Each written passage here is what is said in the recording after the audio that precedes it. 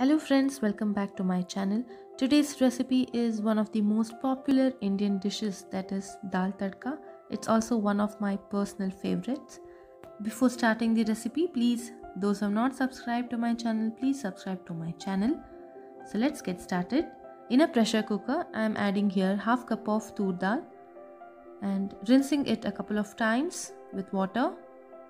Many of them use other lentils but I am sticking on to only tur dal. Rinse it well and add around 2.5 to 3 cups of water approximately.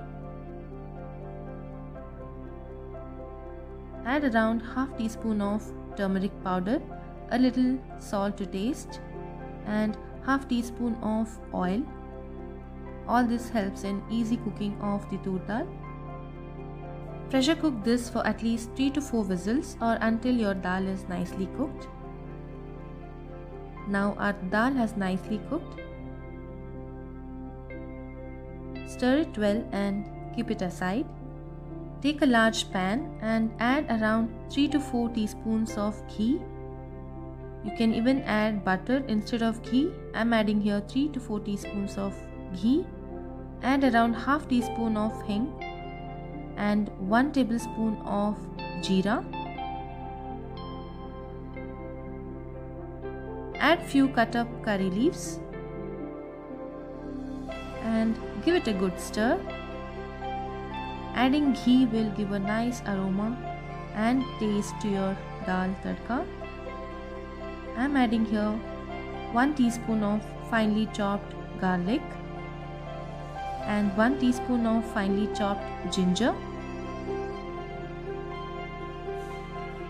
Roast this well for few seconds. All the flavors are released to the oil.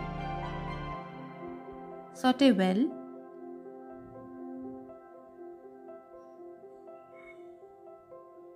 And next I'm adding here red chili just for the flavor. We'll also be adding green chilies to spice it up. So add around 1 to 2 finely chopped green chilies according to your spice level. You can increase or decrease the green chilies. Add one chopped onion and roast this well until all the onions are translucent.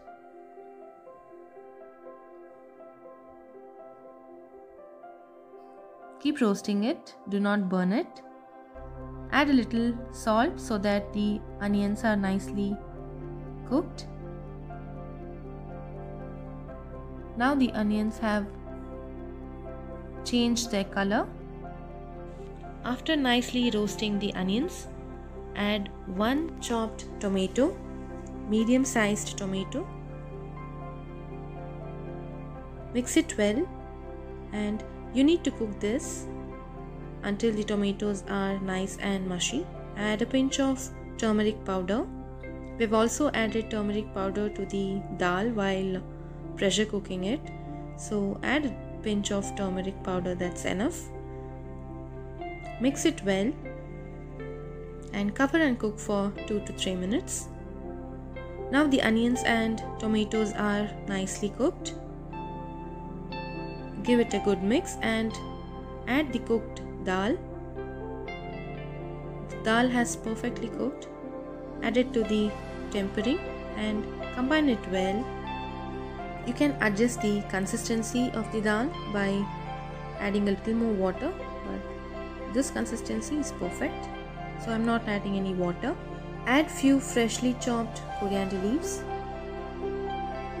I'm not adding any jeera powder or coriander powder because there's a lot of coriander leaves and jeera in the dal. So I'm keeping it simple and tasty too.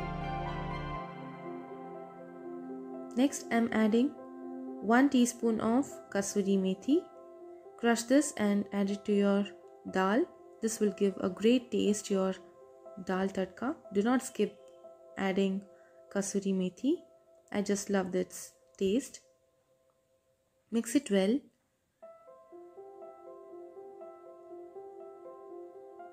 and cover and cook for 2 to 3 minutes. The dal has been boiling well now. Add few drops of lemon juice. This will give a great taste.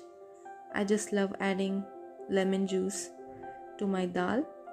We've also added tomatoes, so only a few drops of lemon is enough. And our dal is ready. Transfer it to your serving bowl. Looks very perfect and absolutely delicious, isn't it? So let's prepare the tadka now. In a small pan, add 3 teaspoons of ghee. We're not adding any oil in this recipe. Add 1 teaspoon of jeera. Allow it to crackle up. Add a little red chili powder and few red chilies and a little coriander leaves and your tadka for dal tadka is ready. Mix it well and pour it on your dal. The simple and authentic dal tadka recipe is ready. Serve hot with some rice or rotis and enjoy your meal. Do subscribe to my channel and I hope you all like this video. Please give it a big thumbs up. Do check out my other recipes. Until my next video, happy eating. Thank you. Bye bye.